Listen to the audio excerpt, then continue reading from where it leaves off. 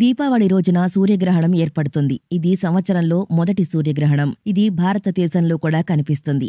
సూర్యగ్రహణం దీపావళిని ఒకేసారి జరుపుకోవడంపై ప్రజల్లో గందరగోళం సందేహాలు తలెత్తుతాయి. సూర్యగ్రహణం దీపావళిని ఒకేసారి జరుపుకోవడంపై ప్రజల్లో గందరగోళం సందేహాలు తలెత్తాయి. ఈ సమయంలో దీపావళి జరుపుకుంటారా లేదా ఐశ్వర్యం శ్రేయస్సు యొక్క చిహ్నాలైన గణేష్ లక్ష్మీదేవిని పూజిస్తారా లేదా ఇది ఎప్పుడు జరుగుతుంది అని సందేహాలున్నాయి. అయితే ఈ గందరగోళం తొలగిపోయింది. సూర్యగ్రహణం మధ్య లక్ష్మీ పూజ ఎలా చేయాలో తెలుసుకుందాం. దీపావళి ఆశ్వయుజ మాసం అమావాస్య రోజు వస్తుంది.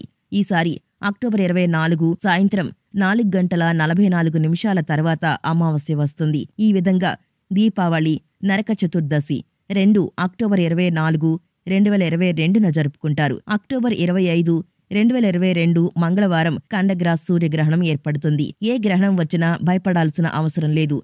ఇది సిద్ధుల గొప్ప పండుగగా పరిగణించబడుతుంది.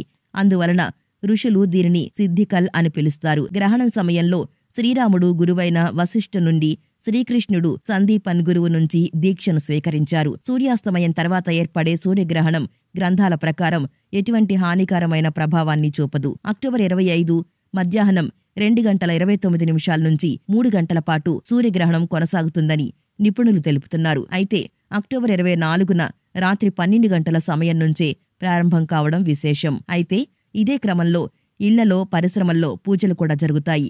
అలాంటి సందర్భంలో పూజపై ప్రత్యేక శ్రద్ధ వహించటం చాలా మంచిదని నిపుణులు తెలుపుతున్నారు. ముఖ్యంగా పూజ క్రమంలో లక్ష్మీదేవి మంత్రాన్ని పఠించటం వల్ల ఎలాంటి చెడు పరిణామాలు జరగవని నిపుణులు సూచిస్తున్నారు. కార్తీక మాసంలోని అమావాస్య రోజున దీపావళి పండుగను జరుపుకుంటారు.